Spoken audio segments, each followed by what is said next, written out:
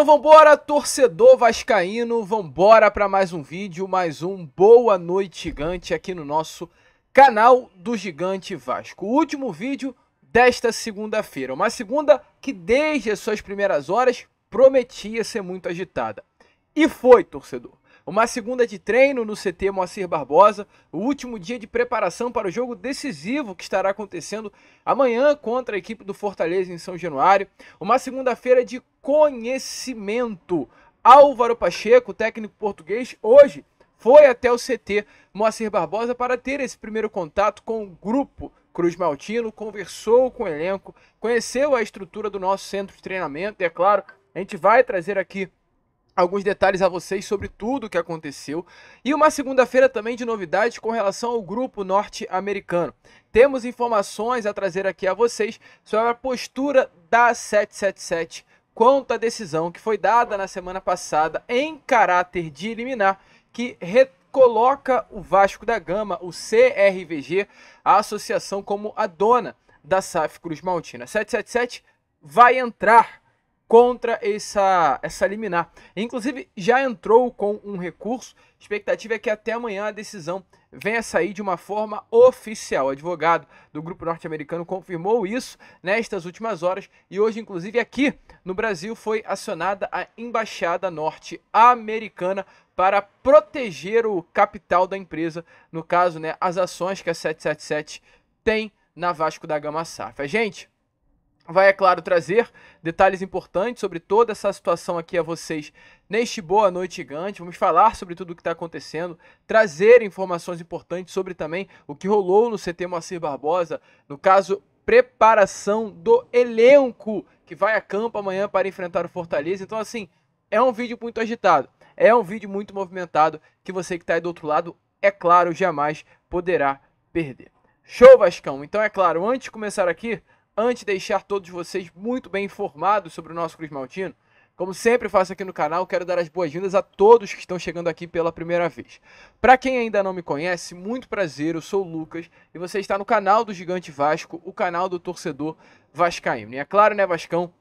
Você que está aí do outro lado ainda não é um inscrito do nosso canal, vem agora aqui embaixo, onde tem essa palavrinha inscreva-se, aperte nela e já faça parte da nossa família. Nós estamos aqui todos os dias, três vezes ao dia. Temos o Acorda Vascão, que sai sempre às 7 horas da manhã, o nosso primeiro vídeo do dia. Temos também o Fala Gigante, que é o segundo vídeo do dia e sai sempre pela parte da tarde. E o Boa Noite Gigante, que é o nosso vídeo para fechar, sai sempre pela parte da noite, exatamente esse daqui que você aí do outro lado está assistindo agora. Então, desde já, o que eu te peço é, se inscreva no nosso canal, ajude o nosso crescimento. Faltam pouquíssimas pessoas para chegarmos aí à marca dos 130 mil inscritos. Então, eu conto muito com você para que isso aconteça. E é claro, não esqueça também de curtir o vídeo, que é importantíssimo, deixar o seu like, o seu joinha, o seu gostei, né?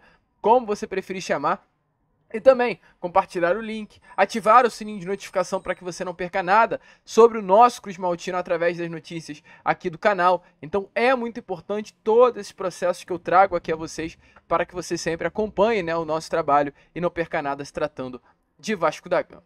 Show de bola? Vamos embora então, sem muita enrolação, falar logo de Vasco, porque realmente foi uma segunda-feira muito agitada. Primeiramente, quero falar com vocês sobre o que rolou lá no CT Moacir Barbosa, né? Porque hoje foi o último dia de preparação para a partida que estará acontecendo amanhã contra a equipe do Fortaleza, um jogo decisivo que o Vasco da Gama terá pela frente, um jogo que acontece em São Januário às 9 horas da noite, partida que terá como grande comandante, né, o técnico interino Rafael Paiva, ele que está no Vasco há três semanas, após a demissão de Ramon, que aconteceu num sábado, após a goleada sofrida para a equipe do Criciúma, Rafael Paiva logo na segunda-feira já estava no CT Moacir Barbosa, apenas dois dias após a saída de Ramon, comandando as atividades no nosso centro de treinamento. Está desde lá até hoje comandando o grupo. Hoje foi ao CT o técnico português Álvaro Pacheco, que desembarcou ontem, inclusive, é, aqui no Rio de Janeiro, perdão. Álvaro foi até o CT, inclusive, com toda a sua comissão técnica. Informações que, ao lado de Álvaro, outros quatro profissionais também estiveram presentes. No caso, os auxiliares Pedro Valdemar e José Teixeira, o fisiologista Ricardo Ferreira e o preparador físico Leandro Mendes. Então, Álvaro Pacheco, esses quatro profissionais estiveram no CT Macir Barbosa nessa manhã de hoje para conhecer o grupo. Tiveram aí o primeiro contato com o elenco do Vasco, conversaram com o elenco Cruz Maltino. A atividade foi toda comandada pelo técnico interino Rafael Ferreira, mas Álvaro Pacheco esteve presente no CT Macir Barbosa acompanhando de perto, né, tudo que de fato aconteceu. Informação que ele teve esse primeiro contato, até chegou inclusive a conversar com o grupo do Vasco para esse jogo que estará acontecendo aí amanhã. Dá certo ânimo, né? Ao elenco que de fato nesse momento está precisando. É uma partida decisiva, é um jogo que vale mais de 3 milhões de reais caso o Vasco consiga chegar às oitavas de final da Copa do Brasil, passando pela equipe do Fortaleza. Então Álvaro Pacheco também trata essa partida como um jogo decisivo. Mesmo ele não estando na beirada de campo, ele sabe como será importante o Vasco passar de fase. Até porque nas oitavas de final já será ele na beirada de campo. Então Álvaro, mesmo longe, né, mesmo não podendo estar amanhã na beirada de campo de São Januário, ele hoje já chegou aí no CT Macir Barbosa pela parte da manhã, assim como ontem, sorridente, alegre, feliz e muito empolgado de ter essa oportunidade de vestir aí a camisa de fato, né, do gigante da colina. Ele foi apenas conhecer a instalação, é importante falar isso, antes que vocês pensem que ele estava treinando, ele foi apenas conhecer as instalações. Hoje a atividade foi completamente comandada pelo técnico interino Rafael Paiva. Inclusive, né, falando em Rafael Paiva, informações rápidas aqui a trazer a vocês, a gente, é claro, vai complementar todas essas notícias amanhã no pré-jogo do Gigante, no Fala Gigante, quando estiver chegando mais pertinho da hora do jogo entre Vasco da Gama e Fortaleza, mas para essa partida Informação é que algumas mudanças sérias, inclusive, irão acontecer. Dentre as mudanças, por exemplo, João Vitor. João Vitor deve ser mantido na lateral, ou seja, Paulo Henrique não retorna ao time titular e há uma grande dúvida no sistema ofensivo. Se Adson ou Rossi estará presente ao lado de David e formando o trio de ataque. Adson entrou muito bem contra a equipe do Vitória em São Januário. Havia até certa dúvida, né? Se ele estaria presente no jogo de sábado contra o Flamengo. Porém, como o Vasco não enfrentou o Flamengo, o Adson se recuperou a tempo e estará à disposição para Rafael Paiva nesse jogo de amanhã. Exatamente por isso há uma dúvida se Adson estará presente no time, no time titular, perdão, ou será banco de reservas. Quem muito provavelmente nem no banco estará é o Gumora. Informações é que Rafael Paiva, nesse momento, está optando por deixar o Gumora fora da lista de relacionados. E sem motivo. Não é lesão, não é suspensão, é por um desejo próprio. Rafael Paiva hoje pode não contar com Gumora para a partida de amanhã contra o Fortaleza. E aí a gente vê mais um erro do Vasco. É surreal, é inacreditável, é uma grande loucura e incompetência, ao meu ver, o Gumora não está presente nessa lista de relacionados amanhã. Loucura do Rafael Paiva? Incompetência do Rafael Paiva? É claro que não mas sim da diretoria do Vasco, que foi atrás de um atleta, pagará 10 milhões de reais por ele, porque até o momento está apenas emprestado, para ele nem sequer ser relacionado para um jogo decisivo do Vasco de terceira fase da Copa do Brasil. Ele não será titular e muito menos ficará no banco de reservas. Nem sequer a São Januário o Moura pode estar indo junto com a delegação por um desejo do treinador do Vasco da Gama. Olha que loucura. Essa é a grande realidade. Olha que loucura. Mas é assim, erros atrás de erros, e isso daí é mais um fato apenas que comprova como foi ruim esse planejamento do Vasco da Gama nesse início, né, de 2024. É realmente triste ver o que o nosso Vasco está fazendo. Mas enfim, amanhã teremos essa decisão e é claro, volto a repetir, estaremos trazendo todos os detalhes de tudo que vai acontecer amanhã. Fala Gigante, no Boa Noite Gigante, quando estivermos mais perto aí dessa partida entre Vasco da Gama e Fortaleza. Porque foi também uma Segunda-feira muito agitada com relação à postura do grupo norte-americano. Hoje tivemos ainda mais informações sobre tudo o que está acontecendo nos bastidores da nossa colina histórica, sobre a ida da empresa norte-americana à justiça para tentar cair, derrubar a liminar que foi colocada à mesa na semana passada, fazendo com que a associação retomasse o controle do futebol. E hoje, inclusive, a partir da decisão que foi dada, né, lá na semana passada pela quarta vara empresarial da Justiça do Rio de Janeiro, do Tribunal de Justiça do Rio de Janeiro, TJ, RJ, hoje foi a sede da Vasco da Gama SAF na Barra da Tijuca, de acordo com informações, um perito. Informações aqui, um perito nomeado exatamente pela quarta vara empresarial, vara que decidiu, né, e deu aí o controle do futebol novamente às mãos da associação foi até o escritório da SAF hoje e teve o seu acesso negado. Informações é que o juiz que indicou a perícia é exatamente o mesmo que concedeu a liminar onde o clube associativo retomou o controle do futebol. Esse juiz, só para trazer aqui o nome a vocês, é o juiz Paulo Assed Stefan. A empresa indicada a fazer a perícia, de acordo com informações dadas pelo portal UOL, chegou ao escritório da Vasco SAF nessa tarde de hoje para ir até o escritório, informações inclusive que foram até completadas pelo Diogo Dantas, é que o grande motivo era para verificar documentos da 777 Partners e cumprir a determinação judicial do juiz. Então, no caso, essa empresa de perícia foi até o escritório hoje da Vasco SAF para verificar documentos do grupo norte-americano que se encontram dentro do escritório da Vasco SAF. Porém, foi negada a entrada dos peritos ao escritório da Barra da Tijuca. Informações é que lá dentro, né, do escritório da Vasco da Gama SAF, uma advogada recebeu aí no caso essa empresa e a advogada alegou ao perito que o despacho do juiz não possuía permissão para acesso e perícia no escritório. Após essa conversa inicial que aconteceu entre uma advogada do Vasco da Gama SAF e esse perito, um novo e-mail chegou a ser enviado ao local com o despacho,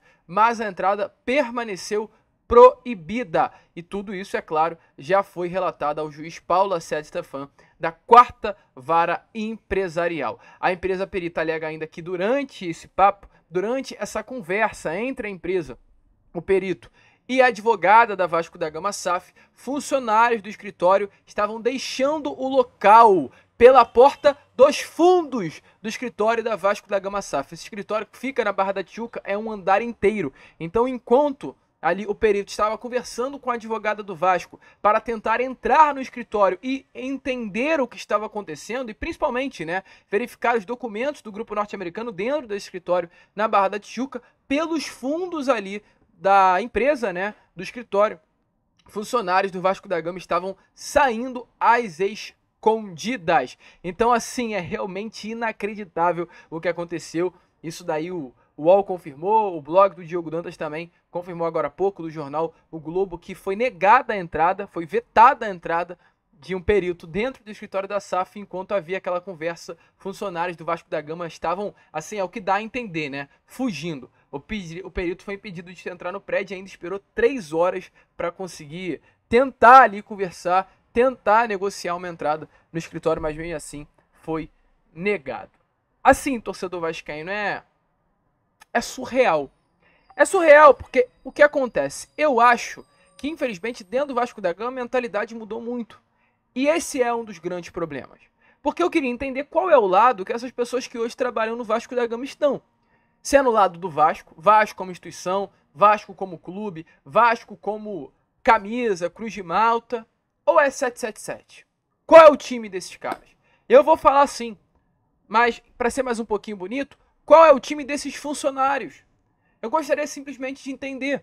Porque a partir do momento que um perito, com uma decisão de um juiz, ele vai até o escritório da Vasco SAF, tem a sua, tem a sua entrada impedida, impedida, enquanto está sendo conversado por esse perito junto a uma advogada para entrar no escritório, saem do escritório pela porta dos fundos, funcionários do setor administrativo do Vasco da Gama, eu queria entender o que está acontecendo. Eu queria entender o que tem tão de oculto dentro do Vasco que não pode ser revelado. O que será que tem dentro do Vasco? Que documento é esse que hoje os peritos foram ao escritório para ver, verificar da 777 Partners que não pode ser visto? A um ponto de que funcionários saíram do escritório pela porta dos fundos. É muito estranho, torcedor vascaíno. É simplesmente muito estranho. E aí eu volto a repetir. Qual é o lado? Porque, ao meu ver, se esses funcionários estivessem ao lado do Vasco da Gama, como clube, pensando no melhor para o Vasco e não no melhor para a 777, eles abririam o escritório. Ó, entra aí, cara. Entra aí, vasculha, vê o que está acontecendo, mete a mão na massa. Mas não é essa a postura. É uma postura de diminuir o Vasco, engrandecer ao grupo norte-americano e proteger a 777. Então, assim, é muita coisa estranha que está acontecendo, meu amigo torcedor. E isso é mais uma das provas que tem, sim, algo errado acontecendo. A partir do momento que um perito chega no escritório e tem a sua entrada negada, e além de sua entrada negada, funcionários fogem, porque é esse o discurso adotado, é que não tem nada certo. Se a casa estivesse arrumada, era só entrar. É preocupante realmente o que hoje acontece no nosso Vasco da Gama. E olha, torcedor vascaíno, se hoje, né, o controle do futebol ainda está nas mãos da associação, tudo pode acabar mudando. Porque nesse momento, informações que nós tivemos é que a 777 Partners já apresentou um agravo de instrumento. Informações é que o grupo norte-americano já pediu habilitação nos autos da cautelar ajuizada pela associação. Ou seja, resumindo, já já irá aparecer aí muito em breve, a expectativa é que até amanhã o grupo norte-americano consiga um recurso e derrube a liminar que a associação entrou na semana passada retomando o controle do futebol. Então amanhã, às vésperas de um Vasco e Fortaleza, pela terceira fase da Copa do Brasil, o Vasco da Gama poderá entrar em campo, tendo novamente a 777 Partners como a sócia majoritária da Vasco da Gama SAFI. Essa foi a informação que tivemos aí há poucos minutos atrás, que realmente esse agravo já foi já teve, né, aí acontecendo nestas últimas horas e a expectativa é que amanhã o julgamento possa acontecer se a liminar vai cair ou não. Inclusive isso foi até confirmado, né, pelo advogado contratado pelo grupo norte-americano. O advogado Márcio Vieira Souto, que é do escritório que o grupo norte-americano contratou, apresentou na sexta-feira passada para se informar sobre o caso, informar o que está acontecendo, informar de fato qual é a situação e deixou claro que o recurso foi preparado e espera-se nessas próximas horas a primeira manifestação sobre a decisão do juiz. O caso Márcio Vieira Souto, representando o grupo norte-americano, diz assim, ó, abre aspas, vamos recorrer. A decisão não tem fundamento, provoca uma insegurança jurídica para as SAFs no Brasil e pode prejudicar o Vasco por uma suposta inadimplência futura de uma empresa que já injetou 310 milhões de reais na sociedade e que sanou quase todas as dívidas de futebol que simplesmente a loucura, né? Assim, o Márcio Vieira solto, pois não sanou quase todas as dívidas do futebol. É só a gente olhar o balanço que vai ver que isso de fato não aconteceu. Além disso, também, hoje foi confirmado que a embaixada dos Estados Unidos aqui no Brasil foi também acionada pelo grupo norte-americano. Informações apuradas pelo blog do Diogo Dantas é que nesse momento o Departamento do de Estado americano foi acionado, pode ser acionado, perdão, pela embaixada norte-americana aqui, se for entendida que a movimentação do associativo do Vasco é uma ameaça ao capital dos Estados Unidos. Então, assim, é uma briga de fato entre Brasil e Estados Unidos. Aqui no Judiciário Carioca, a gente acabou de trazer a vocês e o blog complementa, né? A empresa também preparou já um recurso para derrubar essa liminar. Então, assim, tá tudo acontecendo no Vasco da Gama. Tá uma situação realmente de uma estabilidade grande interna sobre essa decisão que pode ser dada aí nessas próximas horas ainda, inclusive nesta segunda-feira, que muda completamente o game, muda completamente o jogo. É aguardar as cenas dos próximos capítulos, porque enquanto a gente está aqui falando sobre o grupo norte-americano, falando sobre a possibilidade de uma retomada do controle da 777 da SAF Cruz Maltina, de juiz, né, tendo aí negado um, um perito, perdão, tendo negado a sua entrada no escritório da SAF, as coisas também acontecem por trás, nos bastidores da venda da Vasco da Gama SAF para a Crefissa. Foi confirmado que Josh Wander se reuniu com o dono da Crefissa, José Roberto Lamáquia, antes da abertura da ação do Vasco na semana passada, é, derrubando aí né, o controle do futebol por parte da empresa norte-americana. Hoje as conversas estão um pouquinho até paralisadas entre 777 e José, Lamáquia, José Roberto perdão, por conta das instabilidades jurídicas que nesse momento estão acontecendo, porque o controle do futebol está nas mãos do Vasco da Gama. Mas há um interesse grande aí, de fato, da Crevista de comprar as ações do Vasco. Então tem muita coisa acontecendo, tem muita coisa rolando por trás dos panos. E é esperar, meu amigo torcedor, hoje, querendo ou não querendo, o que resta ao torcedor vascaíno é esperar as cenas dos próximos capítulos. Ao meu ver, tem muita coisa errada. Ao meu ver, mesmo que o grupo norte-americano retome as ações do futebol, não vai durar muito para que isso caia. Mas volta a bater na tecla. É incrivelmente surreal. E assim, pode ser uma palavra errada no português, mas é incrivelmente surreal. É surreal, é uma loucura hoje a gente ter essa informação foi barrado um perito de entrar no escritório da SAF enquanto a conversa acontecia. Funcionários do setor administrativo iam embora pela porta dos fundos. Então, assim, é algo que não é normal, ao meu ver. Tem muita coisa errada acontecendo dentro do Vasco. E, acima de tudo, eu gostaria de entender qual é o lado que dessas pessoas que hoje trabalham dentro do Vasco da Gama estão. Porque é muito estranho, realmente. É muito louco saber que isso tudo acontece no nosso Cruz Maltino. Mas enfim, torcedor vascaíno, a gente fica por aqui.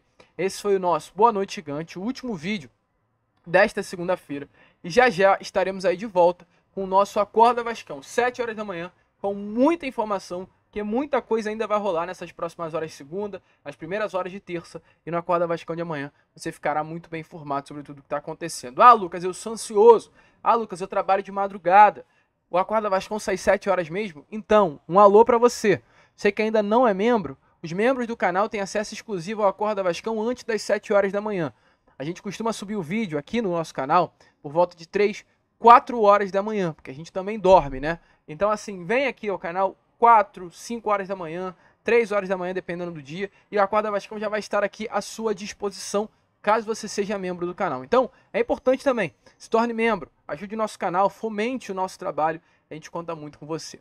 Show? Vambora, Vascão. Se inscrevam no nosso canal, ajudem o nosso crescimento, se tornem membro, e como a gente sempre fala aqui, saudações vascaínas.